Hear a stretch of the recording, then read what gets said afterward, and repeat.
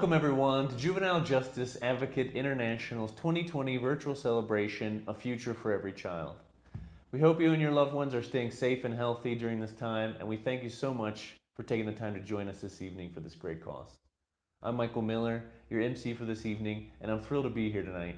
Although our original plan changed, we're happy to be coming virtually to the comfort of your own home. Tonight, we are here to support the children living in detention centers in Mexico and Latin America. The COVID 19 crisis has affected everyone, and these children were not the exception. We need your help to provide them with the assistance they so badly need and be able to give them a second chance and access to a brighter future. We would like to send a special hello to our ambassadors who supported us during the transition to this virtual mode and to our staff in Mexico and the US who made this event possible. We still have an amazing program for tonight where you'll be able to learn about how much we have achieved during the last year, hear from our collaborators and people impacted by our activities, and get excited about what the future has in store for us and the children we assist. I want to remind you that our silent auction online is still live and will close at 8 p.m. tonight. So make sure to check it out and bid on any of our fantastic items and experiences. All profits from the auction and any donation you make, big or small, will go directly into aiding the children in detention centers. The link is appearing right now on the screen, but you can also find it on the information area of the Facebook event group. I would like to say hello to everyone watching and commenting on social media using the hashtag JJAI Virtual Celebration and the hashtag Juvenile Justice, where they are sharing their thoughts on JJAI and our content tonight. Again, thank you so much for joining us this evening and for your generosity, which will impact the lives of so many children and their families. And now we present to you a video of the achievements and news from the last year of activities at JJI.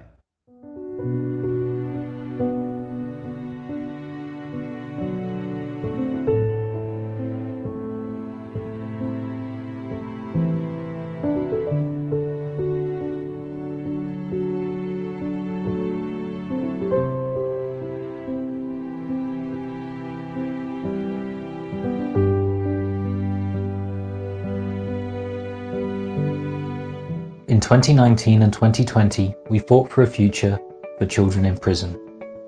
We have been working since 2015 in Chihuahua State and have seen hundreds of youths released from detention and hundreds more never setting foot in prison.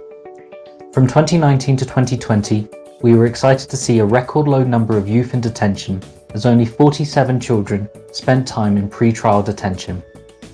We completed our probation transformation pilot project with the Chihuahua State Prosecutor's Office.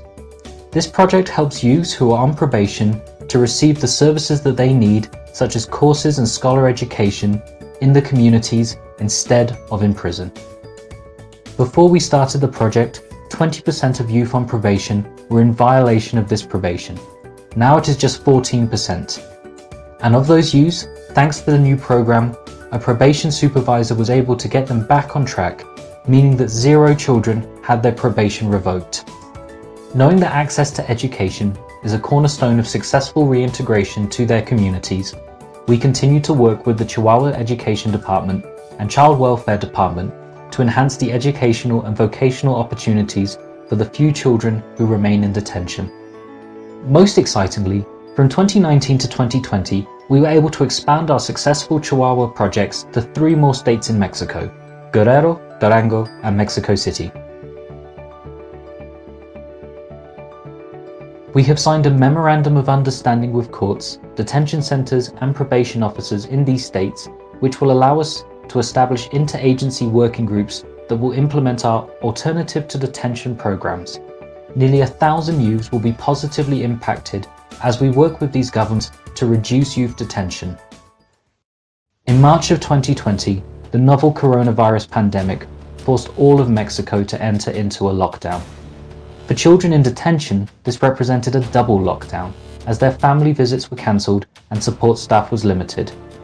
Youth encountered a higher risk of significant mental health trauma and abuse as they became even more isolated. Thousands of children are now in a de facto solitary confinement with no access to school or recreational activities. Many detention centres didn't have access to basic cleaning supplies, face masks, or even drinking water. JJAI then made the decision to redirect all of its efforts to COVID 19 relief for the children living in detention. Thanks to generous supporters and partners, we have so far been able to send much needed supplies to 34 detention centres in 27 states, impacting the lives of 1,100 youths, which represents 65% of all the youth detained in Mexico. This assistance included over a thousand face masks, over a thousand cleaning supplies, 200 care packages for youth being released from detention, 65 board games, 57 sports balls, 5 laptops for virtual classes, 5 cell phones for video calls with families, 150 books and magazines. We have also mobilised and recruited volunteers to teach virtual classes for youth in detention. 15 volunteers have taught 10 different classes with 29 detention centres logging in weekly. Not only did our small team mobilise this massive relief effort, but we were the first local organisation to develop recommendations on March 19th to protect children in detention centres during the pandemic. We immediately began working with the Mexican federal government to share these recommendations with state governments, and we began a series of 13 webinars which had the participation of several government officials in Mexico. Through these spaces of conversation, we established better relationships with state detention centres and court systems, ensuring that children are protected from any physical and mental health impacts that the novel coronavirus may bring. Beyond Mexico, we learned that many other countries in Latin America were overlooking the impacts of the pandemic on youth in detention. So, along with international partners, we organised nine webinars to address the effects of the pandemic on the juvenile justice systems of Puerto Rico, Bolivia, and in Central America. Over 3,000 viewers attended these webinars, mostly government officials. Sola, sin tu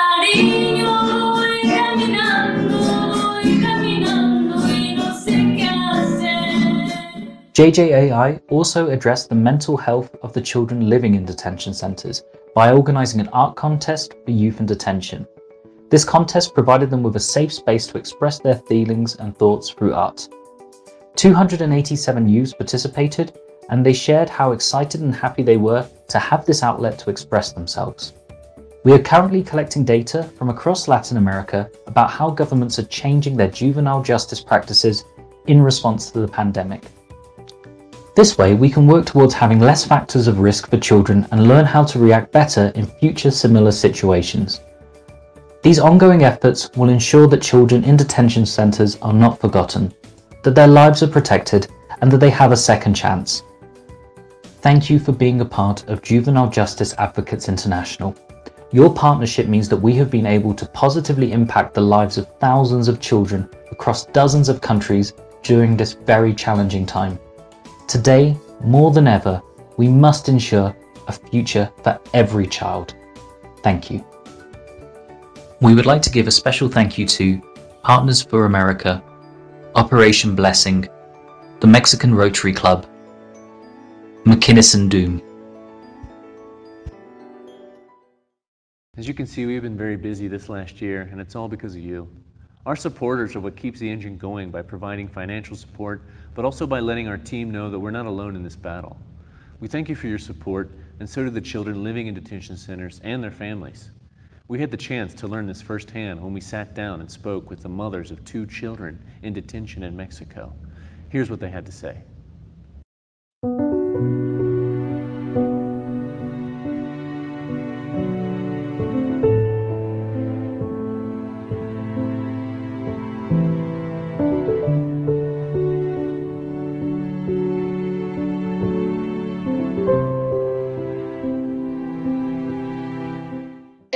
Trabajaba y de ahí sacaba para los recursos que ahora sí que lo poco que yo podía llevarle. Tuve problemas en el aspecto de que caí en depresiones y no sabía al momento cómo sobrellevar las cosas por parte de ustedes, ahora sí que me sentí que yo no estaba sola, que yo pues me sentí un poco protegida. Les contaba mis cosas, lo que a mí me pasaba, porque antes yo no tenía quien decirle y había veces me ahogaba yo sola en todos los, mis problemas que yo traía. A ustedes muchas gracias porque pues hacen el esfuerzo tan grande para ayudar a las personas que muchas de las veces sin conocernos nos apoyan tanto. Se los agradezco de corazón.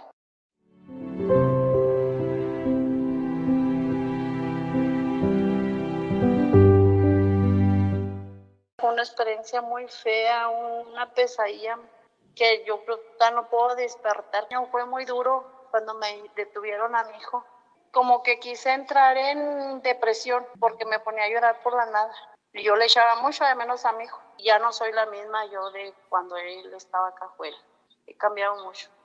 Yo era alegre, ya me amargué. Para mí ha sido complicado por la pandemia, pues no nos podemos ver, pero sí me habla él. Hemos tenido llamadas, ya me quedo más a gusto, pero sí, sí es muy duro no poderlo ver, no hay cómo verlo que oírlo. Cuando entró la pandemia me dice, madre, cuídate mucho, y dice, mejor mira, guárdate en tu casa para podernos ver, dice, porque si así, quién sé cuánto vamos a durar para vernos. Y él dice, ya quiero que se acabe la pandemia, ma, para vernos, para abrazarte, para besarte. Pues en el pasaje y luego nos lleva, quién sabe que me, pues sí, ¿verdad? la salida es temprano cuando yo salgo, este, nos lleva a almorzar o nos lleva a comer. Me siento apoyada y le di y le agradezco a la licenciada, como se lo dije, yo se lo he agradecido mucho desde que la conocí, le he agradecido mucho lo que me ha ayudado y le voy a estar agradecida. Y yo le recomiendo a los padres pues que cuidemos más a nuestros hijos, dónde andan, platiquemos con ellos para saber en qué andan, con quién andan. Muchas gracias por sus donaciones y que así sigan para que también los muchachos no sufran tampoco de escaseces ahí de lo que a ellos les hace falta. Te los agradezco con todo mi corazón y que Dios les ayude.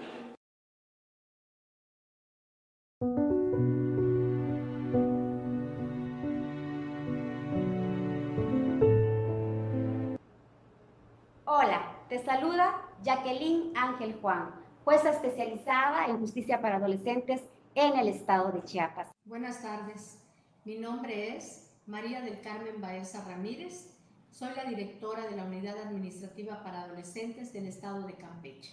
Te comparto mi experiencia de colaboración con Justicia Juvenil Internacional. Nos brindaron el apoyo para 18 personas adolescentes que se encuentran privados de su libertad, recibieron un donativo consistente en artículos de higiene personal, artículos de limpieza y en artículos deportivos, los cuales son muy valiosos, sobre todo en estos momentos.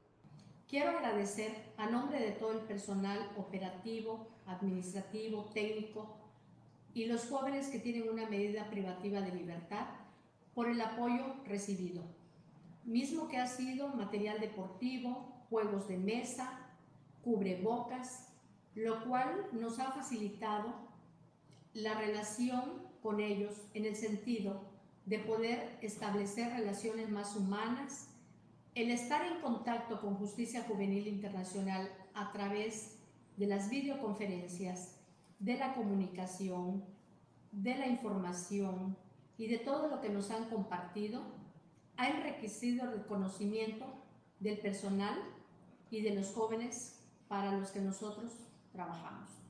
Por este motivo, amigas y amigos, los invito para que contribuyan a través de sus donaciones para fortalecer esta gran iniciativa de trabajo en favor de la justicia para adolescentes. Gracias. Estamos muy contentos y sobre todo Deseamos continuar con esta relación de colaboración que tiene lo que toda la humanidad necesita, el enfoque humanitario. Muchas gracias. Gracias a la Fundación de Justicia Juvenil Internacional por el curso de dibujo que me ayudó a aprender nuevas técnicas eh, y poder participar en el concurso de dibujo internacional. Hello again, everyone. We're here at JJAI's 2020 virtual celebration, A Future for Every Child. The children living in detention centers had their lives turned upside down once again when the COVID 19 pandemic began. They were already living in isolation from society and from their families, and when they were starting to get used to a life behind bars, their normalcy was taken away from them. Due to health measures imposed by the federal government in Mexico, all access from family members and from the volunteers who provided them with school and extracurricular activities were suspended. These children are going through adolescence and a pandemic behind bars without the support of their families, without access to any activity that will help them cope with a double lockdown. Their mental and physical health were in danger. So JJAI decided to step in and provide assistance by sending personal hygiene and cleaning supplies to the detention centers which required it most, as well as board games, books, and sports gear. However, our most successful assistance was to provide supplementary classes through video calls to every detention center that required them. We found volunteers who teach English, drawing, macrame, knitting, and yoga, which made the children engage in new activities and have a way to cope the new situation they're living. Here's a message from two of our volunteers.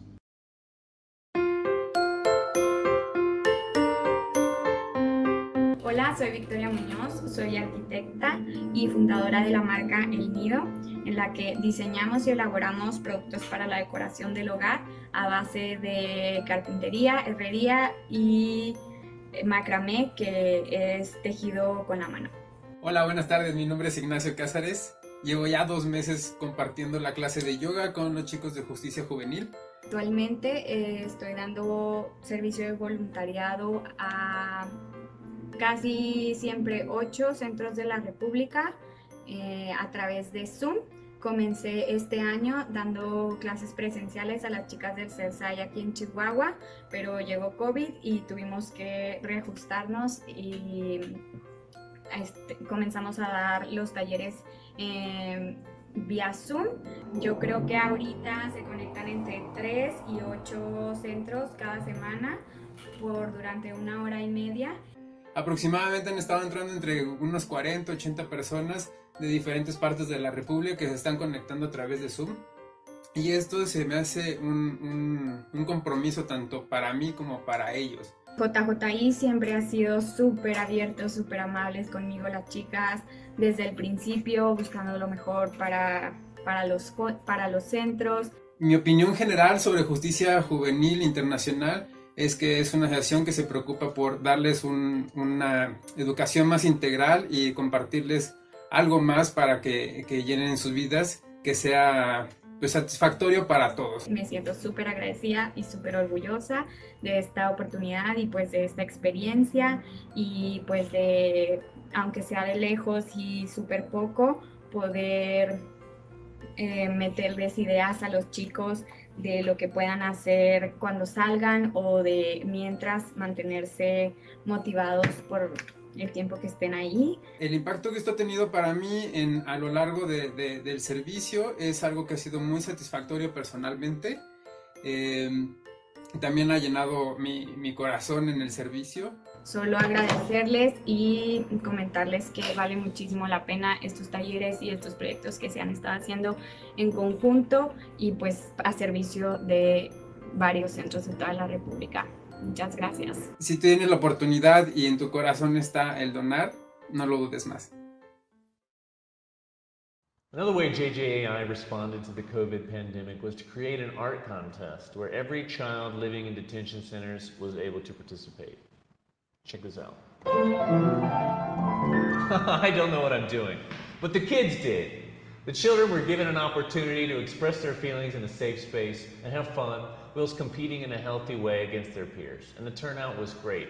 287 children signed up and presented original drawings, songs, choreographies, and essays, which allowed us to get a glimpse into their lives behind bars and make them know that there are people out there who care about what they have to say. And we present to you the winner of the written category in this next video. Enjoy.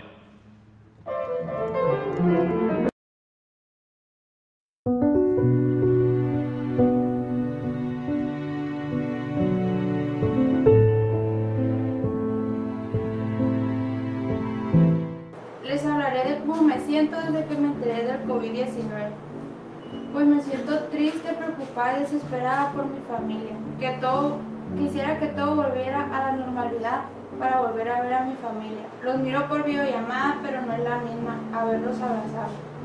A veces me pongo triste porque desde que empezó el COVID-19 casi no tenemos actividades porque no he mirado a mi mamá. Y en estos momentos es cuando necesito un abrazo de él. Y por otra parte es una experiencia para mí, aparte de la que estoy viviendo, y porque es una experiencia para mí, porque igual si estuviera afuera con ellos no podría hacer lo que hoy deseo, por protección. A lo que voy es que no todo en la vida es teléfono, es calle, son amigos, droga. Y ahora pienso diferente. Ahora solo quiero y ocupo el amor de mi familia. Perdí a mi hermano, no me pude despedir de él. No le pude llorar junto a él, no le pude decir que siempre va a estar en mi corazón. El COVID me ha quitado muchas cosas, como también me ha hecho reflexionar de algunas cosas. Pero nunca hay que perder la esperanza. Ojalá todo vuelva a ser como antes y remediar el tiempo perdido. A veces me desespero por todas las medidas que tenemos que llevar, pero es por el bien de nosotras. Todos los días rezo por mi familia, por mí, por mis compañeras, por todos los que andan afuera. Ojalá pronto acabe esta pesadilla. Welcome back to our virtual celebration, A Future for Every Child. We're very excited to have shared with you what JJI has been up to this last year. You've heard from the mothers of the children we aid, you've heard from the authorities which have partnered with us, and coming up you'll hear from our Executive Director, Douglas Kaler. We have been able to assist many people over the last year, and even though we have been a key component to reduce the amount of children incarcerated, we fear the need for more assistance has not decreased the same way.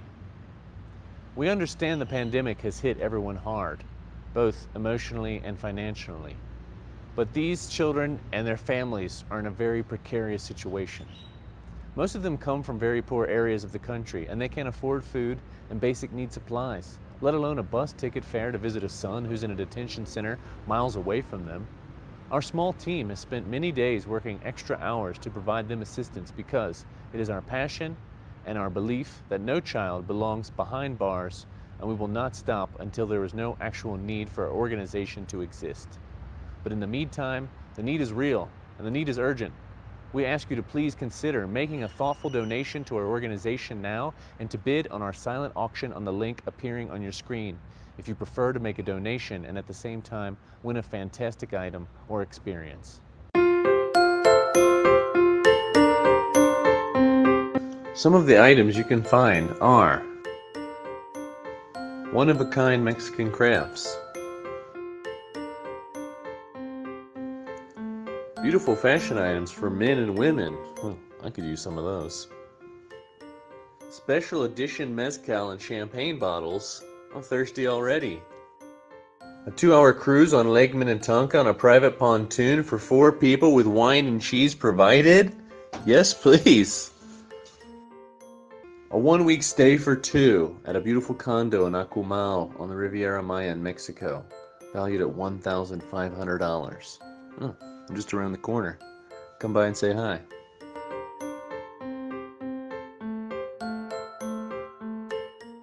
Also, I'd like to remind you that our goal is to raise $10,000 tonight and maximize the match challenge. Any donation will be matched, so please go to the link for our donation page found on the main information area of the social media where you're watching. Help us transform the youth justice system. We'll be right back.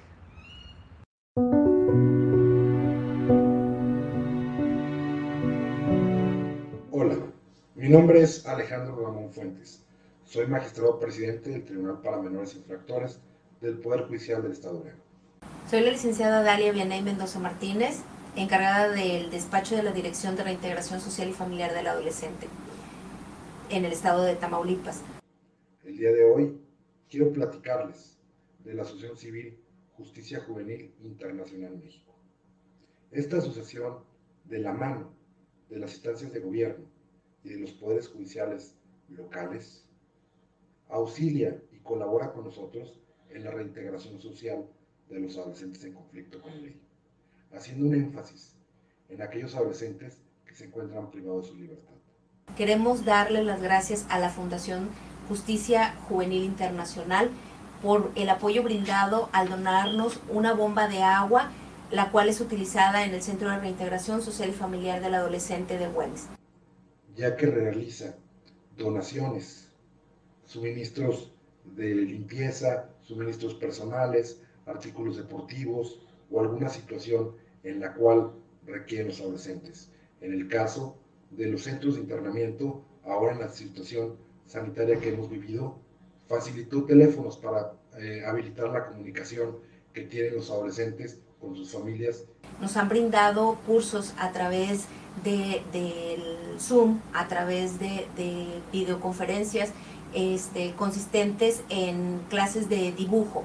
Se va a participar en los cursos en Zoom eh, consistentes en inglés, dibujo, yoga, macramé y tejido. Eh, es un honor que nos hayan volteado a ver como institución carente de algunos cursos, sobre todo en esta, en esta etapa, en esta época eh, de la pandemia, con el fin de cuidar su salud. Muchas gracias. Quiero pedirles el apoyo para este tipo de sesiones para que sigan contribuyendo. Gracias y esperamos que las sigas apoyando. Muchísimas gracias. Doy las gracias a la Fundación Justicia Juvenil Internacional por la donación de la bomba de agua, ya que ello nos beneficia mucho en nuestras necesidades personales.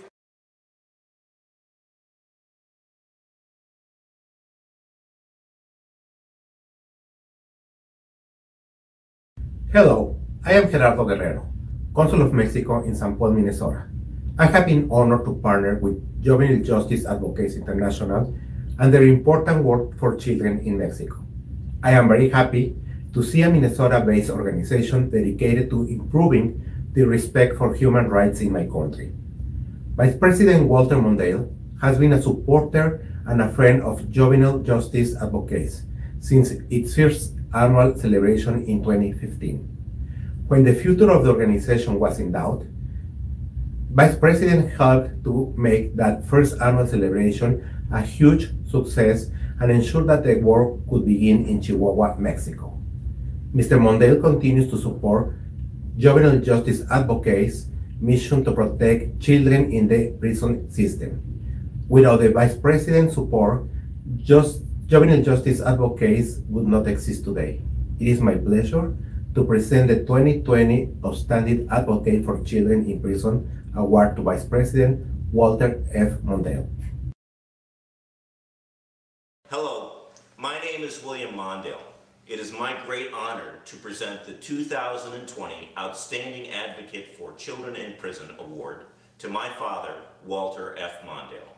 The Vice President and I both believe that the work of Juvenile Justice Advocates International is incredibly important, especially now when the global pandemic has revealed huge social inequalities, where youth from marginalized communities are more at risk than ever, and the failures of excessive imprisonment are more evident than ever.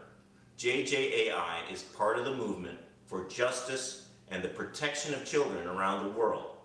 The Vice President, my dad, and I are glad and honored to stand together in the fight for children around the world. Dad, thank you very much, and here you go. Thanks. Thank you. Better go up in my esteemed trophy list, and you can come by and see it once in a while. Thank you. As we reach the final moments of our event, I would like to take the time to remind you about the mission of JJAI, which is to advocate for policy reforms in the juvenile justice system and to improve respect for human rights of the most vulnerable, our children. This year, our mission was put to the test, and we came out with a higher conviction to make every action count to work towards achieving our mission's goals.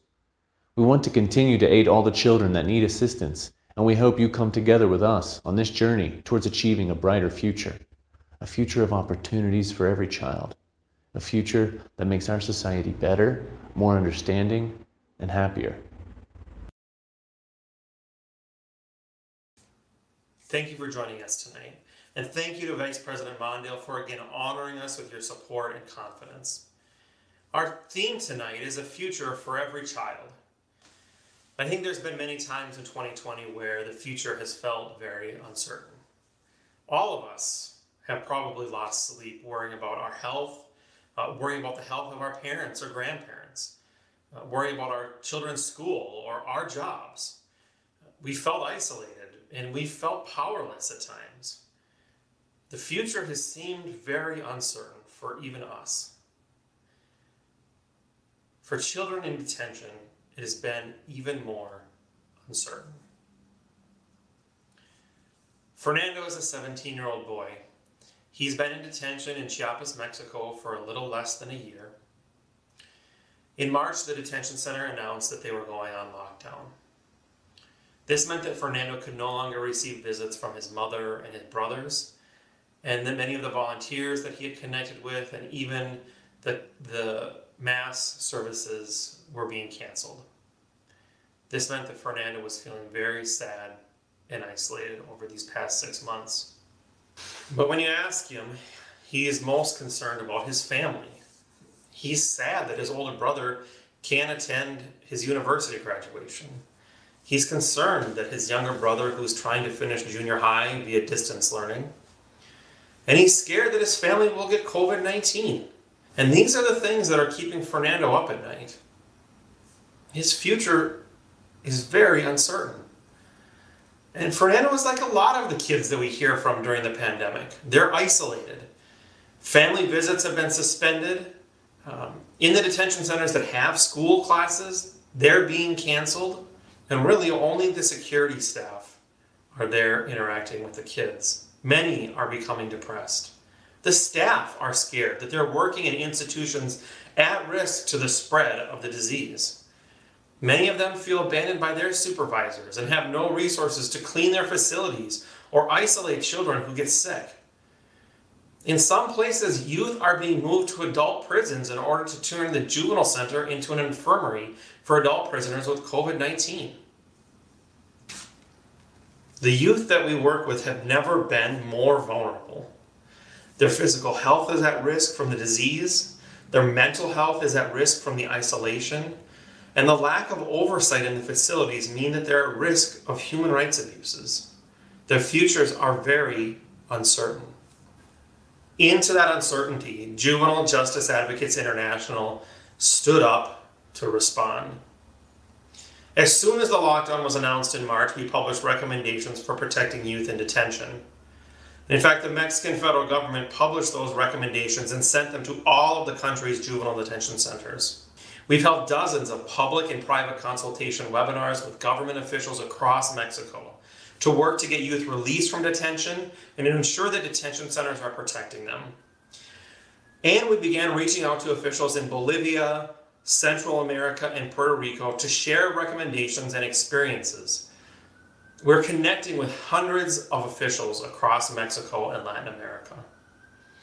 And tonight you've seen how we've mobilized resources and partnerships to provide cleaning supplies, face masks, books, board games, sports balls, virtual classes, and laptops that touch over 65% of all youth in detention in Mexico. When we called one detention center official who hadn't received any assistance from his government, he actually began crying on the phone when we offered him our support.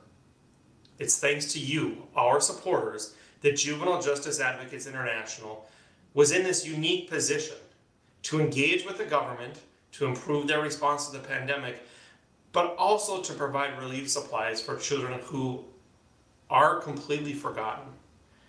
When no other actor was there to respond, you made it possible for us to respond. The pandemic has pulled back the curtain. That the most vulnerable, most at risk, and at need youth in our societies are receiving the least help and the least protection.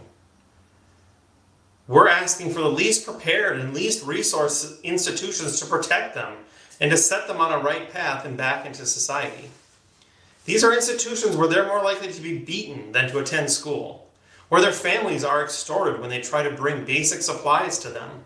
The entire system is designed to take their futures away. And that is more true now than ever before. But we believe that every child deserves a future. Every child should be able to hug their parents and their brothers and sisters. Every child should be able to attend school. Every child should have hope for a job and to be able to contribute to society. This is what we're fighting for together. The pandemic is not over. Through your support, we were able to ramp up our response to the initial stages of the pandemic. Because of the pandemic, we were faced with a $100,000 budget shortfall. that you helped us reduce to just a $20,000 funding gap. And tonight we have a chance to fill that gap. This will allow us to continue our life saving work with youth in detention. It costs about $42 per child. $42 for a child like Fernando to get access to virtual classes, get access to video calls with his family, and beyond the immediate needs, our pandemic response has opened doors to see true system transformation. Because of our work to respond to the pandemic, more jurisdictions are asking to become alternative to detention sites. In fact, Fernando's state, Chiapas, Mexico, is going to be our fifth site in Mexico starting in early 2021, where we'll work to ensure that youth like Fernando are protected from the physical and mental health impacts of the pandemic, that youth like Fernando have a real opportunity to safely remain in their communities rather than in detention, and that youth like Fernando and his family have the tools they need to support him and give him a future. Fernando is set to be released in two months. He told us he wants to finish high school and get a degree in electrical engineering. Fernando deserves that future.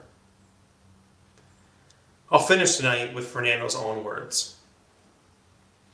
He said, My biggest wish is that all of these things that we're going through with the COVID 19 pandemic would be over with. That is why every night I pray that little by little we return to normal that my family stays healthy, and that those of us in the detention center are no longer affected emotionally. This is our prayer as well, Fernando.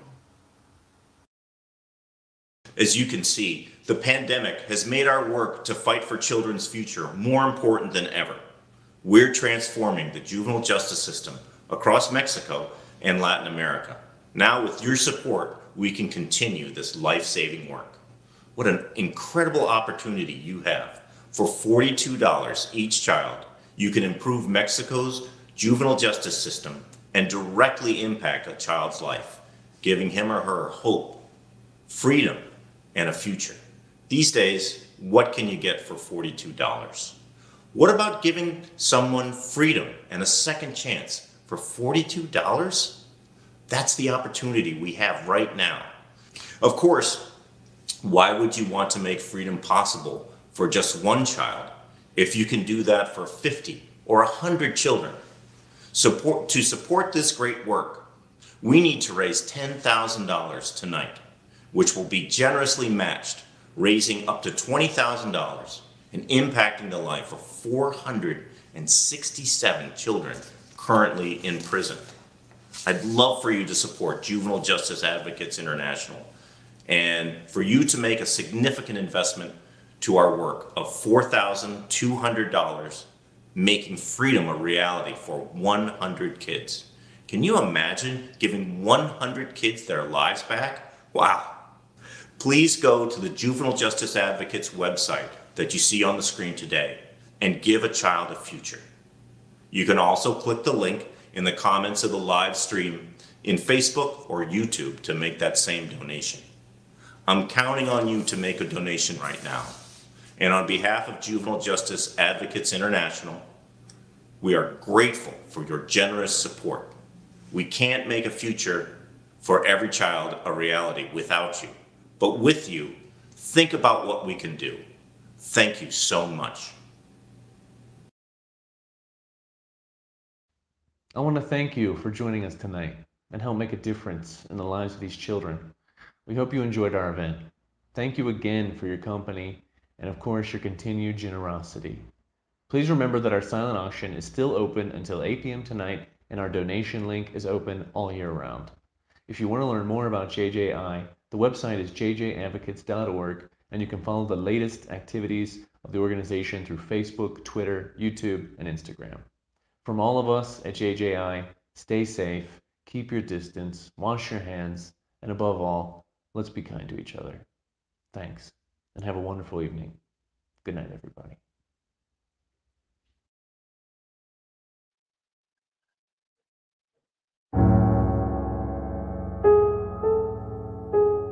No hay peor cárcel que la que nos imponemos en la mente.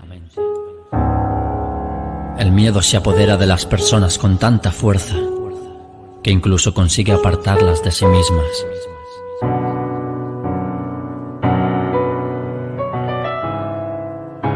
Tristeza, desamor y ansiedad son la condena que comparte cada día más gente. Pero compadecerse y esperar no conseguirá el indulto. Hay que levantarse y luchar. Todo va a cambiar. Que tus sueños sean más grandes que tus miedos, que la vida sea un juego, que siempre quedes primero, que tu tiempo no se escape entre tus dedos y que todas esas dudas que te aterran se conviertan en sí puedo. Que tu odio se transforme en un te quiero y que todas tus mentiras pidan un cambio sincero, que tus besos sean más grandes que tus dedos, que ningún error te impida en tu vida ver la salida y volver a empezar de cero. Que tu alma no sea de nadie, que tu mente sienta paz y que si caigo me levanto y lo pretendo una vez más, que tu corazón sea libre y no dependa de otro ser y que el futuro fluya sin torturas ayer. No te preocupes por el tiempo, tendrás cada respuesta a tus preguntas, pero en el justo momento buscaste la felicidad en todas partes y tal vez un día olvidaste que siempre estuvo aquí dentro.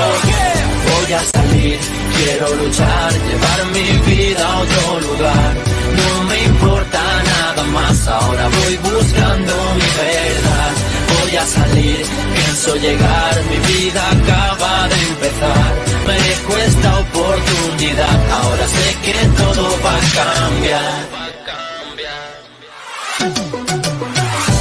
Voy a salir, quiero luchar, llevar mi vida a otro lugar. No me importa nada más, ahora voy buscando mi verdad. Voy a salir, pienso llegar, mi vida acaba de empezar. Merezco esta oportunidad, ahora sé que todo va a cambiar.